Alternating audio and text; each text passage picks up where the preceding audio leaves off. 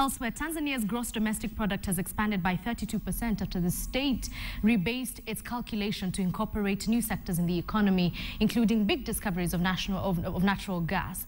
According to the National Bureau of Statistics, its GDP stood at 69.8 trillion Tanzanian shillings after the rebasing, up from a previous estimate of 53 trillion shillings. Farming remains Tanzania's economic mainstay, while tourism, mining, communications, and financial services are the other key sectors. Tanzania has also made big natural gas discoveries with revenues expected to give a boost to the economy by 2020. The base year for calculations was changed to 2007 from 2001 and the NBS said GDP growth for 2013 was subsequently revised up to 7.3% from 7% previously.